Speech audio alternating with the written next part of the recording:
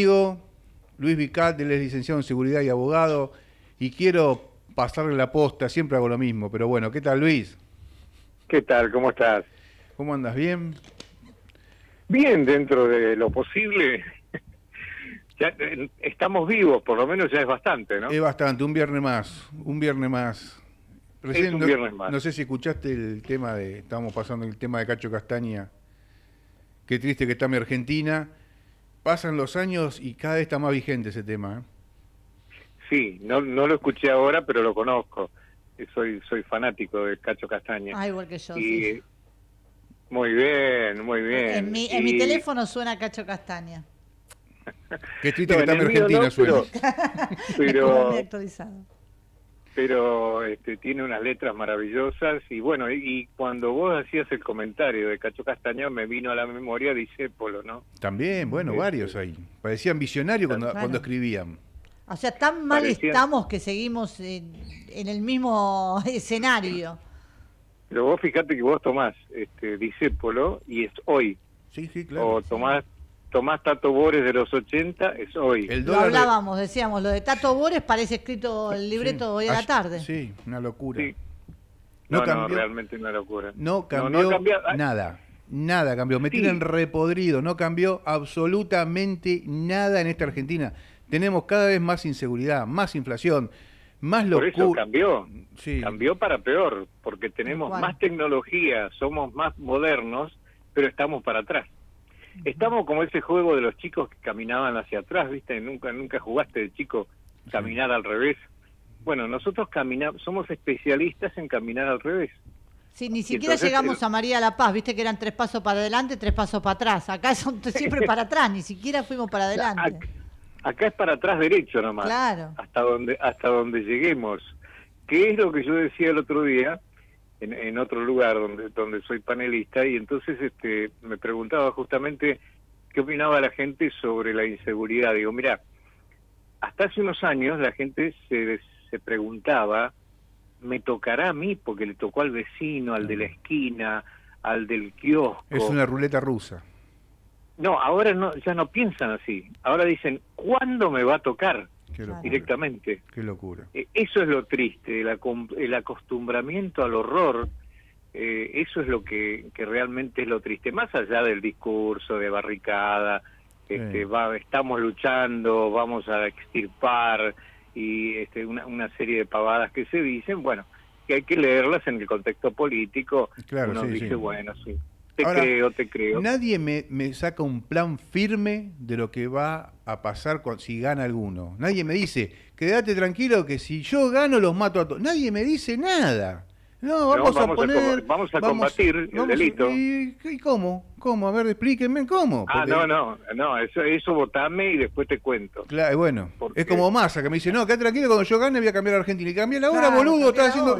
Ahora, está la, la, posibilidad de demostrarme que podés. Sí, pero vos, vos fíjate qué retroceso, porque el retroceso es grande. Y mm, yo me acuerdo que daba unas charlas en, en alguna época este, para empresarios que hablaban de los costos ocultos de la inseguridad, ¿no? Es decir, no los costos directos, sino los costos indirectos. Y no me refiero al costo indirecto de que tuviste que cerrar las persianas por el piquete, que tuviste que cerrar las persianas por los saqueos, que tuviste que cerrar las persianas porque la gente no te va al boliche, porque ya la gente no sale porque tiene miedo. Eh, no, no, no, no me refiero a eso, es peor todavía.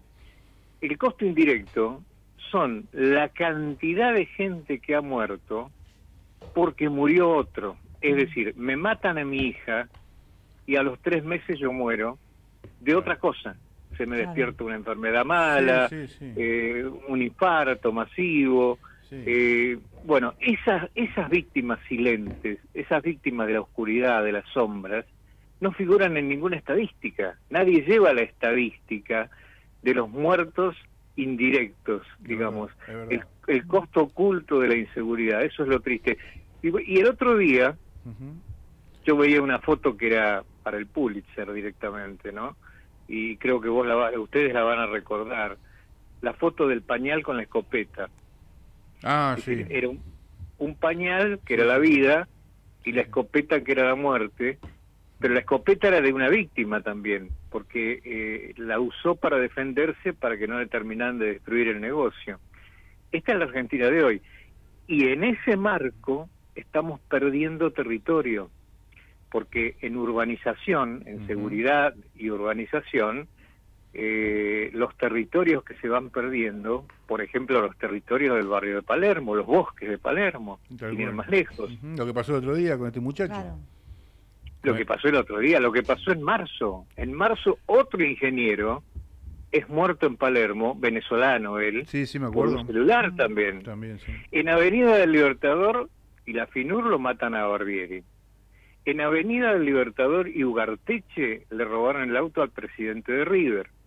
En Avenida del Libertador y Bulnes le robaron la camioneta al hermano de Rodríguez Larreta, al hermano del intendente. ¿Se entiende, no? Sí, sí, sí. sí. En, en Castex, al 3348, a varios alumnos del Colegio Bayar, un colegio muy muy concepto que hay muy, de la zona, les robaron las zapatillas. ¿Dónde están los corredores seguros que dijeron que había? Mm. Porque Morena se murió porque no había corredor seguro en la provincia. Está bien, la provincia, el Far West, Sarajevo, todo bien. Pero, ¿y la ciudad de Buenos Aires? ¿Qué pasa? No, bueno, a ver. Eh, están los Punga acá en el alrededor del obelisco y nadie los agarra. Te quieren limpiar el, te quieren limpiar el vidrio y tienes que subirlo el vidrio vos porque en cuanto te tiran encima te roban lo que tenés adentro del auto. Nadie nadie los nadie los agarra. Nadie nadie hace nada. Hay un montón de gente pidiendo en la calle que te afana porque es mentira el cartelito de que estoy en la calle. Eh, bueno, venden, venden pañuelitos hasta las 6 de la tarde y te voy a decir dos. de julio Independencia. 9 de julio Independencia en el semáforo, hasta las 6 de la tarde te venden pañuelitos.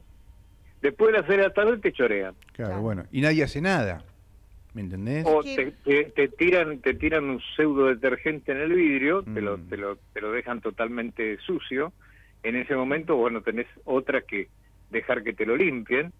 Y mientras tanto, si observás, no, no lo vas a poder observar, pero los que observan o que se supone que observan, que es el centro de monitoreo de, la ciudad, este, van a ver que se tapan la cara permanentemente con la botella de esta de detergente con la cual ensucian los vidrios.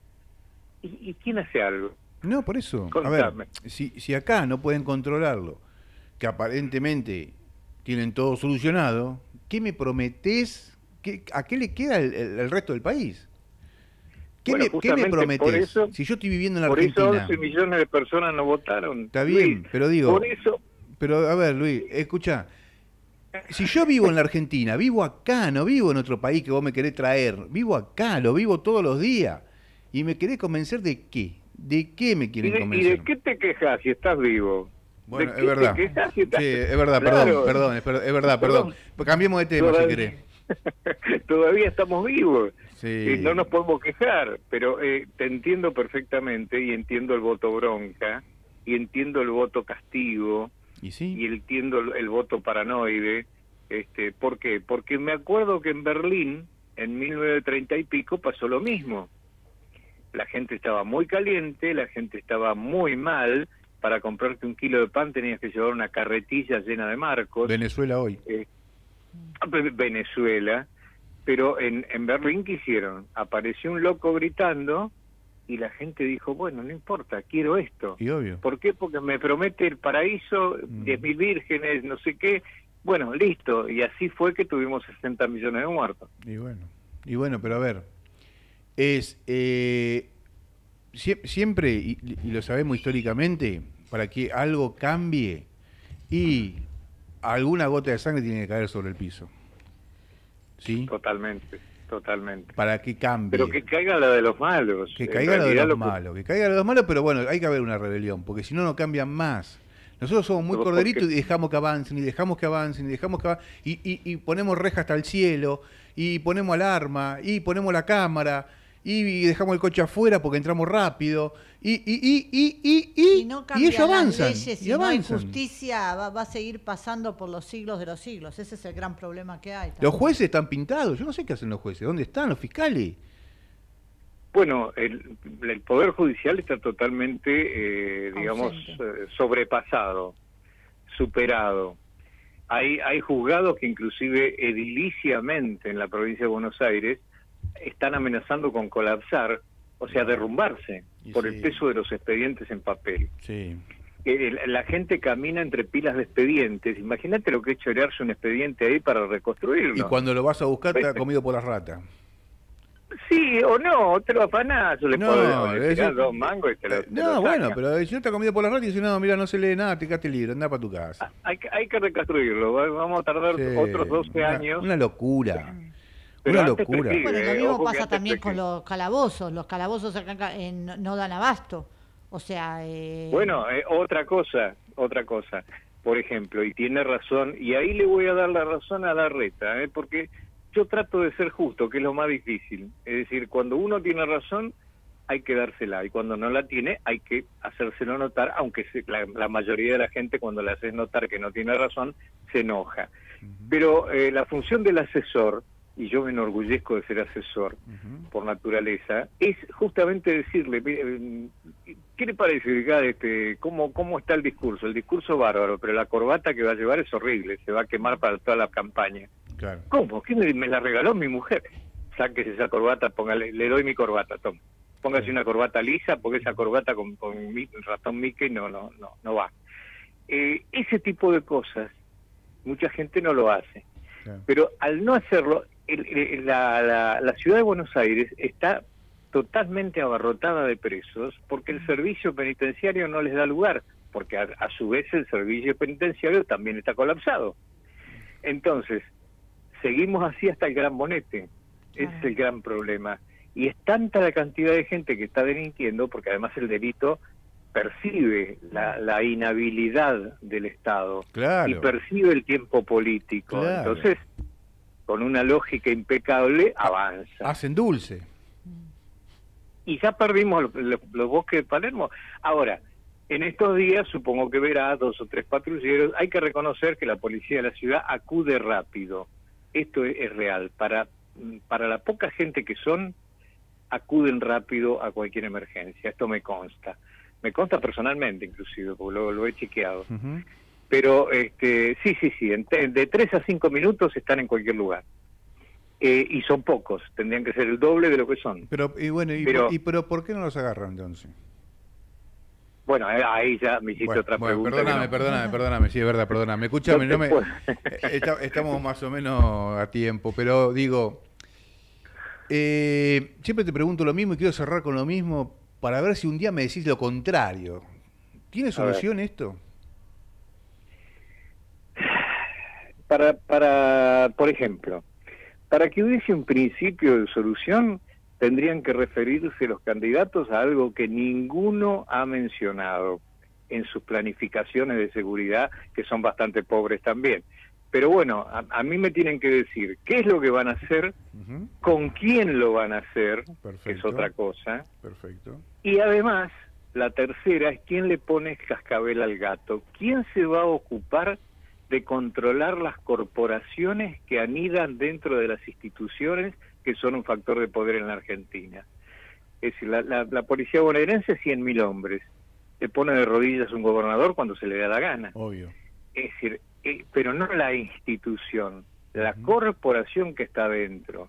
¿eh? Volvete a ver el bonaerense, leete la bonaerense de Ragendorf o la secta del gatillo, de, de Ragendorfer, que es un brillante escritor de policiales, y ahí vas a entender cuál es el problema. Y el problema es que las corporaciones regulan el delito. Eh, Luis, como este siempre, como siempre, impecable. Eh, Gerardo, ¿podemos poner el tema de vuelta? ¿Se puede? Te quiero despedir con esto, Luis, te quiero despedir con esto, porque la verdad estoy indignado estoy, eh, pero mal, a una ya juntos. la desesperación entra. Gracias por estar, Luis. Un abrazo grande. Te quiero despedir con este tema. Te mando un abrazo y gracias como siempre. Septiembre de 1988. Buenos Aires, Argentina.